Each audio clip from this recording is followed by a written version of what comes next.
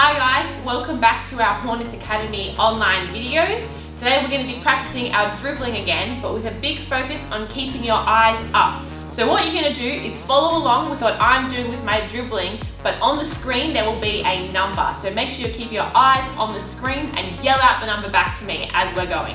Okay, are we ready? Let's go. Start with the ball in your right hand.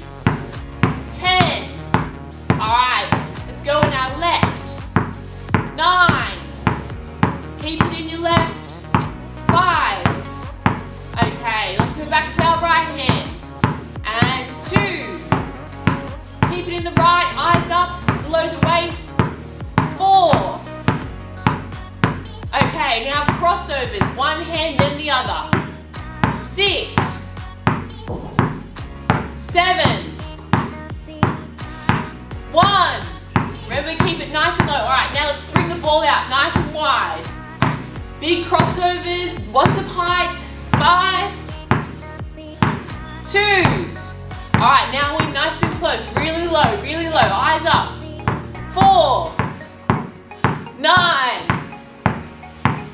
seven. Okay, everyone, now we're coming down onto our knees. We're gonna keep dribbling, but on our knees,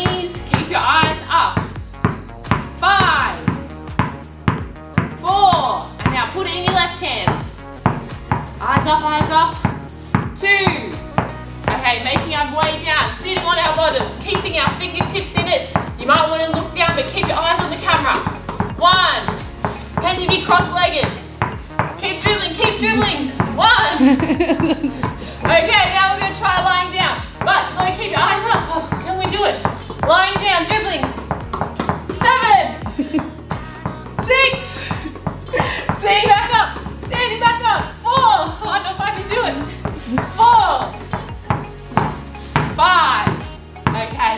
Back our dribbling.